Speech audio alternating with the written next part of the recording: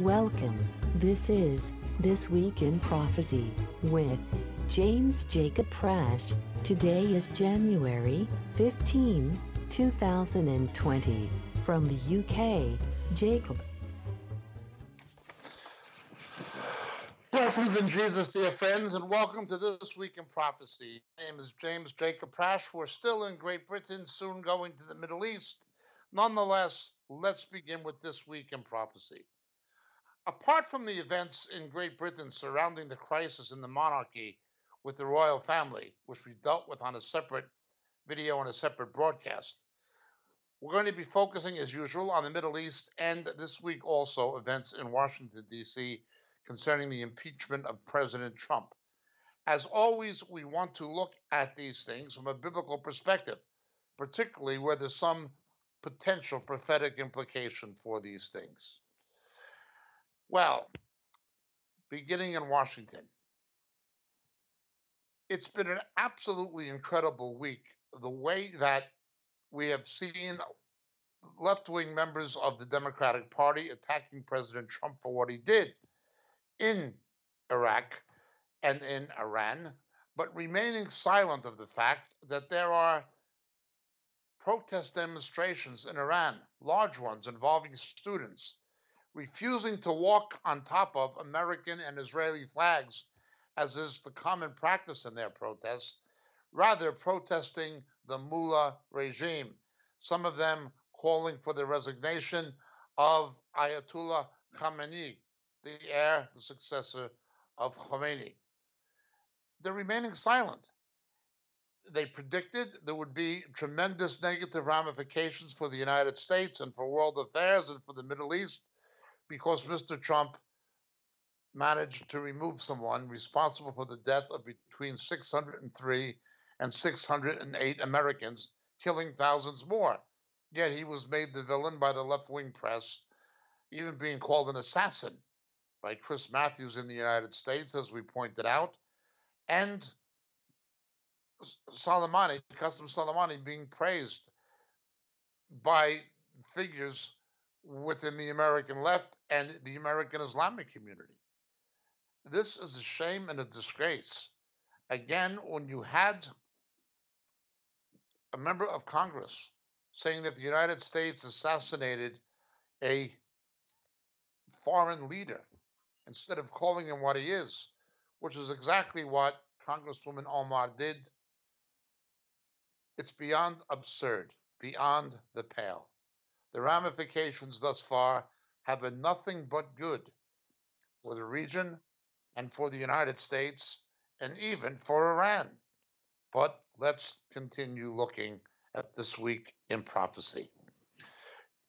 Because he has blessed Israel, saying that Israel has a right of determination in the West Bank and a future voice in its outcome, refusing to call it a occupation because he has moved the embassy to Israel's capital, Jerusalem, from Tel Aviv, because of his general philo-Semitic and pro-Israel policies.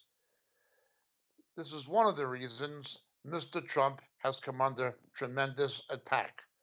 We believe this attack is spiritual in nature, not simply political or social.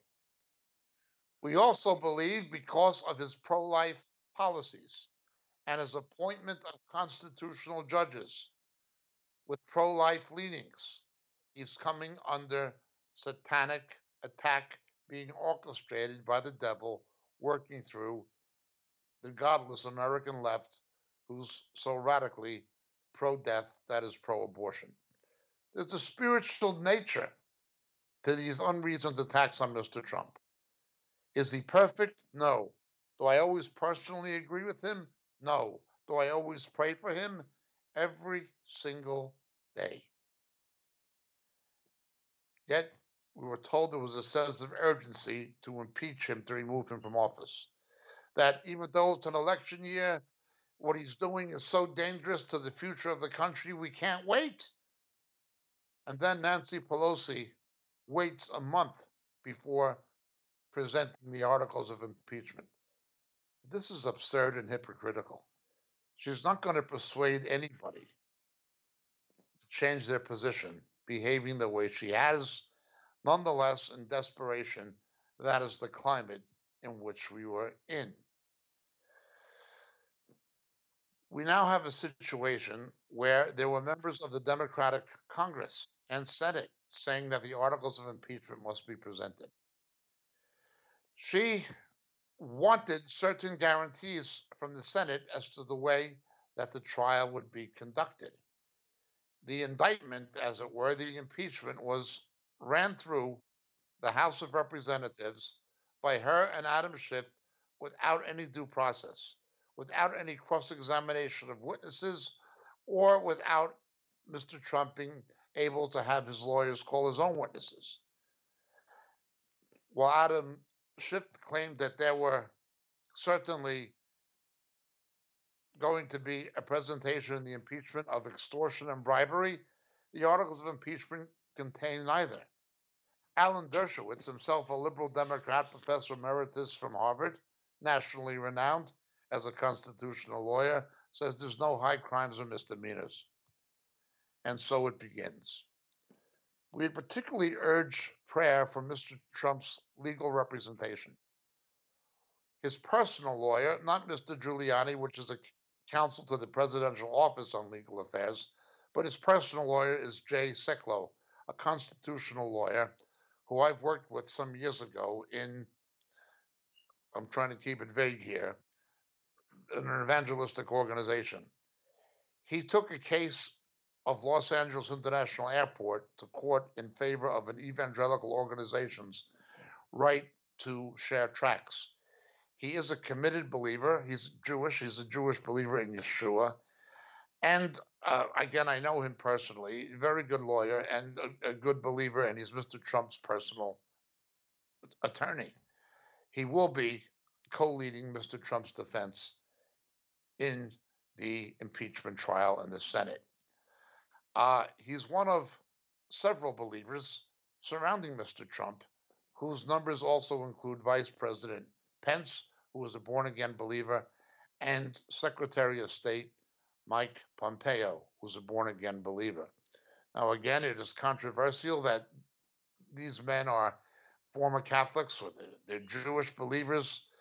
The left wing media would pick up on these things, I would have expected, but they, they fortunately have not although they are certainly aware of it.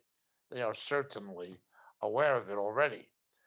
Nonetheless, that may just be God keeping them quiet. Um, they don't like the fact that Mr. Trump has evangelical influence surrounding him. And I'm surprised they haven't made a bigger deal of it than they already have. Nonetheless, it's going to commence. Miss Pelosi has not had her own way, and she's going in with an impeachment that contains no high crimes or misdemeanors. A very weak case where their one factual witness, not opinion witness, but factual witness said there was no quid pro quo that he saw.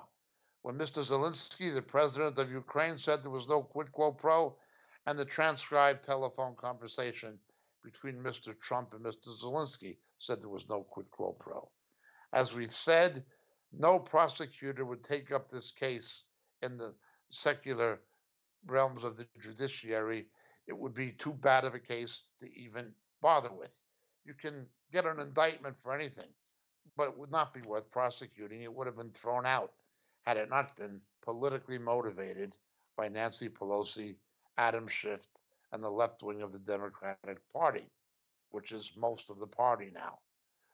Well, such it is. It's coming up but I again believe it is part of a spiritual attack because of his pro life position, because of his pro evangelical position that has included standing up for the rights of persecuted Christians of his by his administration, and because of his pro Israel position. I believe he's coming under attack. Is he perfect? No. Do I trust him? I don't trust anybody but Jesus. I don't even trust myself. But I pray for him and I pray every day for him. And I would urge you to do the same that justice would prevail and that these baby butchering same sex marriage proponents, pro abortion proponents, would be brought to justice. That does not seem to be what's happening, however, this week in prophecy. The Chief Justice of the Supreme Court, Chief Justice Roberts, has allowed an Obama era anti Trump political activist to direct the revisions needing to take place in the FISA court system. The FISA courts were guilty of irresponsibility in listening to the Justice Department when the FBI lied and continued to lie in order to protect and cover up their first lie on the Steele dossier. The FISA court became a political instrument, as did the FBI under McCabe, under Comey, and under Peter Strzok. The criminal investigations by a special prosecutor, Mr. Durham are taking place. I hope they will bear fruit. But that only involves the crimes alleged to have taken place within the Justice Department and the FBI. The malfunction of FISA itself is being redressed by an anti Trump political activist. Why is Chief Justice Roberts, a Republican appointed by the Bush dynasty, doing this and allowing it? Why is Roberts allowing it? We have warned many times establishment Republicans are no better than Democrats. They are everything a Democrat is, plus a liar on top of it. We've pointed out many times it was the Earl Warren Supreme Court that ordered God out of the classroom, that it was the Warren Burger Supreme Court that ordered God out of the maternity ward with Roe versus Wade. It was Ronald Reagan's appointee, Sandra Day O'Connor, who wrote the decision on the Texas anti sodomy law that opened the door for same sex marriage and who ordered the Ten Commandments out of the judicial building in Alabama.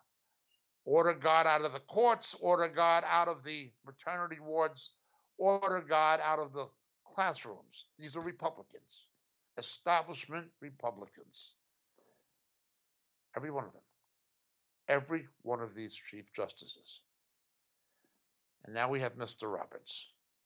Again, from the Bush administration, establishment Republicans. A corrupt administration that was owned and operated essentially by the House of Saud after September 11th. We've talked about the relationship in the Carlyle Group and the relationship between the Bush dynasty and the House of Saud funding radical Islam, even in the United States, many times. So we have Mr. Roberts, establishment Republican. Remember, Mr. Trump ran not only against the Democratic Party, he ran against the Republican Party establishment. The Bush dynasty, Carly Fiorina, the late John McCain, Mitt Romney, etc., sometimes called the Never Trumpers. Well, Mr. Roberts is their boy. Mr. Roberts is responsible for Obamacare not being struck down in the Supreme Court. In the litigation brought against Obamacare that reached the Supreme Court, it was contended that Congress cannot force people to buy private insurance. Mr. Roberts unilaterally rewrote that law. He rewrote the legislation, calling it a tax, even though the legislation did not say it was a tax. He rewrote it to say it was a tax, and Congress has a constitutional right to pass tax legislation. This is the kind of corrupt judicial garbage the Republican Party leadership has always been and represented. From Roe versus Wade to the Warren decision kicking God out of the classroom, to Sandra Day O'Connor kicking God and the Ten Commandments out of the judicial building to Mr. Roberts. These people are just as wicked and just as evil as left wing agenda is judges, except they lie on top of it, pretend to be somehow conservative, hiding on back of the mask of the Republican Party, pretending the Republican Party is conservative, when in fact, no, it is a mainstream party that has a conservative wing, but it's not a conservative party, never was. Mr. Trump had to run against it and they are still against him. I was not particularly happy with Mr. Kavanaugh. I'm not convinced Mr. Kavanaugh is a genuine constitutionalist or a genuine conservative. I like Clarence Thomas. Although he was a Catholic, I thought Mr. Scalia, who, who we've lost, was conservative. At least he was a fair constitutionalist. And I appreciate and admire Clarence Thomas, who was horribly victimized, as was Kavanaugh. I don't, however, trust the Supreme Court Republicans. I don't trust them. Mr. Gorsuch may be the best of a bad bunch, but simply because they're Republicans does not make them men of honor. In fact, Mr. Roberts, the Chief Justice, is a man of dishonor. How, in the aftermath of those scandals, when the Democratic Party misused FISA, misused the Justice Department, misused the FBI, this was the Democratic Party working through the Obama administration. How can you appoint an Obama era bureaucrat and a anti-Trump political activist to redress the problem when they caused it. Again, that is like having the mafia audit the numbers racket or having the mafia audit union corruption.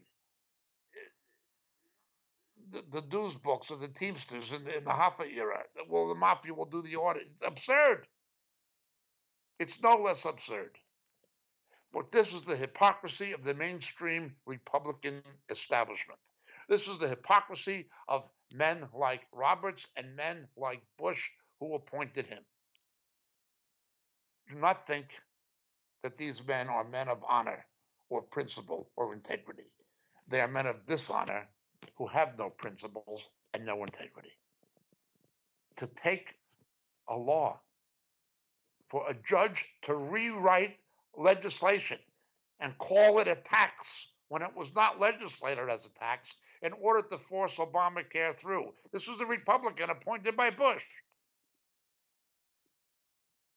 Remember, it was John McCain who legislatively saved Obamacare. The Republican Party establishment is different from the Democratic Party establishment in only one respect. The Democratic Party establishment is 100% godless filth. The Republican Party establishment is 110% godless filth because they pretend to be constitutionalist and conservative and pro Judeo Christian, which they are not. Get God out of the classroom. Get God out of the maternity ward. Abort the babies. Get God out of the court system. And now, Roberts goes with this? An Obama era anti Trump activist? Going to clean up FISA after FISA was misused unconstitutionally and illegally? To attack Mr. Trump?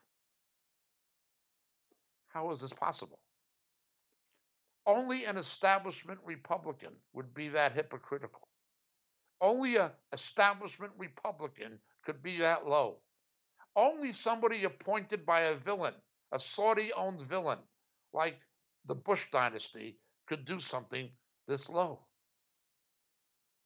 Mr. Trump has spoken out about it. But constitutionally, there's a separation of powers. I just hope and pray that the judges he appoints will be constitutionalists. They will not be Republicans. Remember, the Republican Party is no better than any other party. It's just as bad and just as evil. Open democracy. It's part of the attack on Mr. Trump. Why is this happening? These attacks are spiritually motivated because he's blessing Israel and because he is pro evangelical, because he is pro life. The attacks from without, from the Democratic Party, from the left, from the left wing media, that's anticipated. But the real poison is ad te brute. Those absolutely despicable and unprincipled people within his own party. And the Chief Justice is, of course, one of them. The Mormon Mitt Romney is another. But let's continue this week in prophecy. Events in Iran have once again managed to shift gears. With the protests in Iran, there have been further developments. This is really, really major. Yesterday, this week in prophecy, in its 2020 Intelligence and National Security Assessment, done annually by the Israeli military and civilian intelligence communities, the Shabak, Aman, which is the military intelligence, and the Mossad, put together a document advising the Israeli government and friendly foreign governments on policy based on intelligence assessments for the year. They state in the 2020 assessment that Iran will have the capacity to produce 25 kilograms of highly fissionable material before the end of 2020. By the end of the year, within two years, they will have a more developed weapons system capable of launching nuclear strikes with a missile.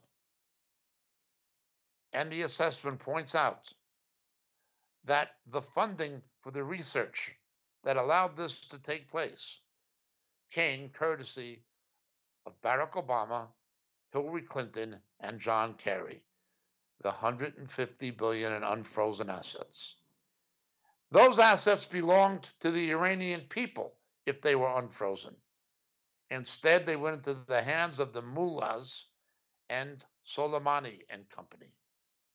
They're not used to help the Iranian people. They were used to fund terror and to develop nuclear weapons. Of the 10 year slowdown allowed by the Obama administration's agreement with the Iranians, only six years are presently left. What it amounts to is the ability to resume full scale production of weapons grade plutonium uranium enrichment, whatever, in six years. Paid for by Barack Obama. So he funded it. Additionally, it allowed research to continue.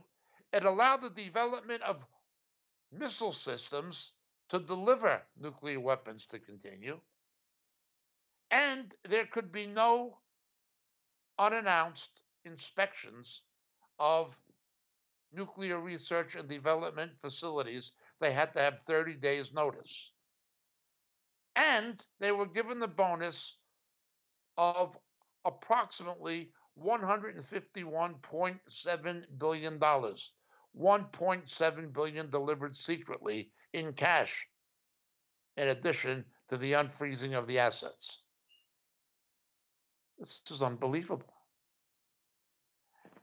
It would be hard not to see the actions of the Obama administration as anything less than functionally tantamount to treason in the eyes of objective thinkers, at least. He gave them $150 billion. We, we can't inspect your nuclear development facilities, and you can resume after 10 years, of which there's only six left, and you can continue to develop weapons and to fund terror to kill Americans, and we'll pay for it. This was the foreign policy crowning achievement of Barack Obama. This is his legacy. His domestic legacy was the failed Obamacare that collapsed despite the efforts of Republicans like John McCain and Chief Justice Roberts to save it. But these things are now coming to a head this week in prophecy. If the Israeli assessment is correct, United States, Europe, Israel, the moderate Arab states, the rest of the world will have no more than two years to do some kind of a preemptive strike on Iran, lest Iran gets those weapons. To prevent it from getting the nuclear device, it could have by the end of this year, if the Israeli assessment is correct. The best would be an international reaction. Don't hold your breath. Nonetheless, this is what's taking place.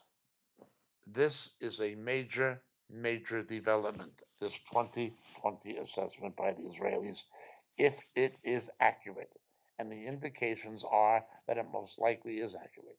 This is very serious. Now remember, although we made the light that there's protests against the mad mullahs and that Iran has essentially backed down, the mad mullahs are determined to preserve their regime. What they will likely do is what they've always done when confronted back down but not be deposed. This was not the first time this has happened. It happened during the Obama administration, except Obama would not lift a finger to even give an ounce of credence or moral support to the protesters. He essentially seemed to be on the side of the regime, functionally, him and John Kerry and Hillary Clinton. Well, Mr. Trump is different he has given his blessing to the protesters, making it clear the United States is not the enemy of Iran, but that the mad mullahs who've hijacked Iran are the enemy of the Iranian people and the American people and the Saudi people and the Israeli people and the Emirate people. And so it is. This week in prophecy, Israel has hit the T4 base in Syria, which was an Iranian operated base, and has killed at least three Iranians. The Iranians, meanwhile, have fired another missile on an American base on the 14th of January after the one that took place on the day when two missiles downed a commercial jet, killing 176 people. Most of the passengers were Iranian Muslims or Iranian Canadian dual national Muslims. I personally believe that this was God's hand of judgment, although I do obviously mourn the death of the innocent people on board, particularly the Ukrainian flight crew. We warned last week that it was likely that Iran shot this plane down, and our suspicions have proven to be accurate. After three days of denying it, they were forced to admit it happened. During those three days, they did not present the black box, nor did they allow international investigators to observe the wreckage, but began scooping up and trying to clear the wreckage away. They've also claimed to have arrested the Iranian who filmed the missiles being fired at the plane. And it was not only one, it was two. This week in prophecy. The further predictions of the American left, the Democratic Party, and mainstream media that there is a disharmony, a disconnect with the European allies and NATO over America's Iranian policy after killing Soleimani has proven to be nonsense. Britain, Germany, and France have all admitted that Iran has been acting in violation of the treaty that Barack Obama bribed them to accept. They've not even kept it. The Europeans, the British, the French, and the Germans have stated these violations are taking place and they are taking potentially punitive action under the provisions of the treaty for those violations. Iran has promised a strong and severe response. The conflict now is what Daniel 10 said, as we pointed out last week in prophecy, to be a conflict with the West.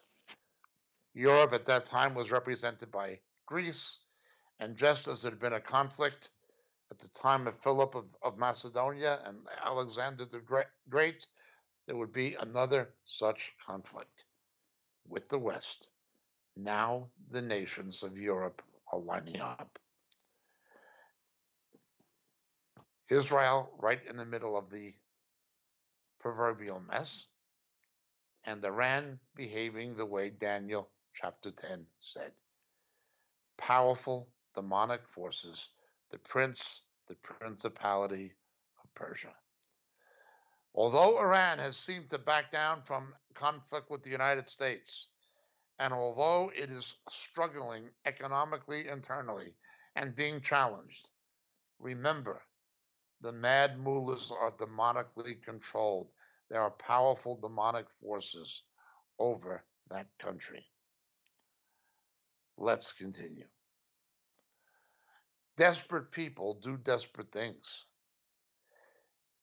If the Israeli report is correct, again, and the mullahs begin to fall from power, would they resort to using these weapons of mass destruction, or at least threatening to do so?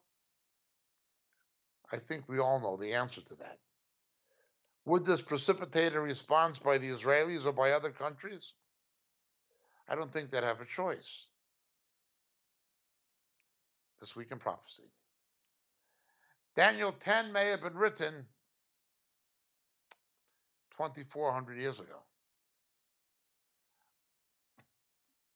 But it could be on the front page of any leading newspaper in the world this week. Let's continue looking at what's happening this week in prophecy. For the very first time, Israel has sold natural gas from its Tamar and Leviathan fields to Egypt. The deal is worth approximately 15 billion US dollars and will extend over several years. Hence, we have now the mass production of fuel resources off the Mediterranean coast of Israel that are being commercially marketed in amounts that are significant. It's only the beginning. The value of Tamar and of the Leviathan fields is difficult to assess because of fluctuations in oil and gas prices. But it will make Israel at least a regional player in the energy equation this week in prophecy. We see events taking place politically in both the United States and in Israel. In Israel, the right wing parties who are not in the Likud are forming a loose electoral confederation to oppose Mr. Netanyahu in the upcoming elections. The National Religious Party, the religious party of Israel, although there are smaller ones like Shas, the National Religious Party is the largest, is forming a coalition alliance with Ayelet Shaked and with Naftali Bennett, two right wing politicians, to try to make an alternative to the Likud party of Mr. Netanyahu. Hence, we have the equivalent of an American primary, uh, a war among people of the similar party persuasion. Only the parties have split. It's like having a conservative party and a Republican party at the same time contending with each other. Well, that's what's taking place now in Israel. If this divides the conservative vote, it could result in the left gaining an amount and degree of power it would not otherwise have. Or it could result in a humiliation for them. When religion enters politics and the religious have the swing vote, we have to be very, very cautious. It could spell opposition for the local believers in the body of Christ it could spell a lot of things. We may be initially happy, but we shouldn't be. But it's happening this week in prophecy. So, this week in prophecy, we see these events coming together. The aftermath of Iran. The left finds itself politically embarrassed. I have no doubt that the prayers of so many Christians for Mr. Trump has been the determining factor in the positive outcome of the events of last week concerning the assassination of Qasem Soleimani and what followed it. My name is James Jacob Prasch. God bless and thank you for listening.